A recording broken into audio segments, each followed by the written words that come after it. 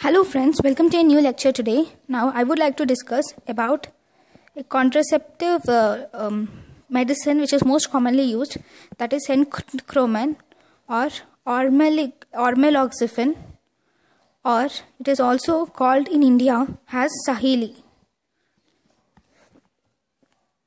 So it is a synthetic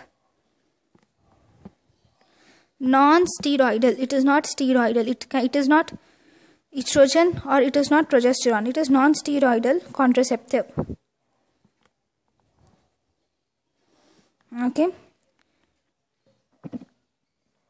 It is taken as 30 milligrams tablet started on first day of menses.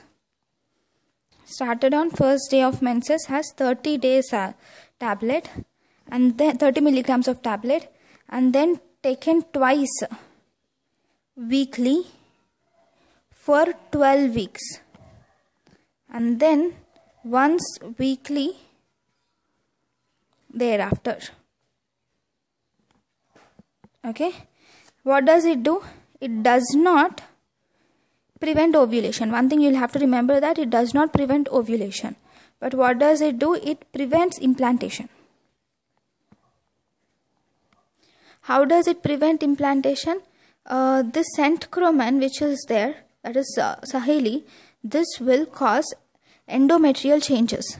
So because of the endometrial changes, prevent uh, implant, implant, implantation is prevented. Then it also exhibits strong anti-estrogenic effect.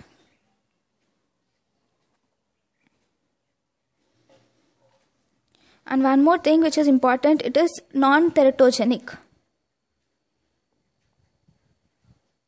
and not carcinogenic. No pharmacological effect on any other organs. Okay. Now, what is the failure rate in this centchroman? So, the failure rate of the centchroman is 1.83 per 100 women ears. Okay? This drug it can be used as postcoital pill.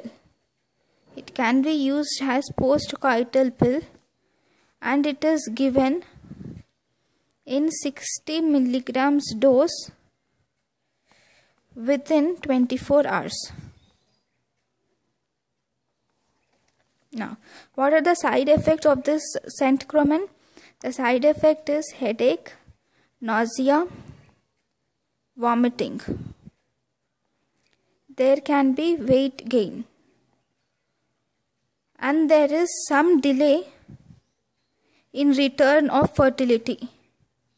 There is some delay in return of fertility. Mostly it is around 6 months. It takes 6 months to uh, delay fertility. And then if there if we use it prolongedly so the prolonged use can cause hyperplasia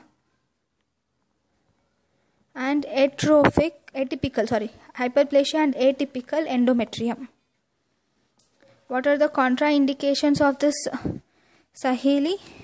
Contraindications are it is not used during 6 months of lactation it is also used in conditions like polycystic ovarian disease, hepatic that is liver dysfunction or cervical dysplasia.